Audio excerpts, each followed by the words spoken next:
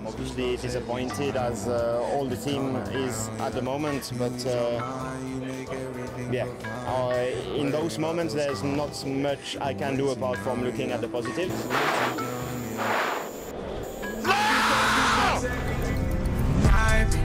I need the Heim, throw that to the side.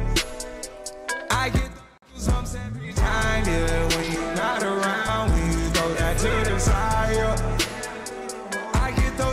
every time, yeah.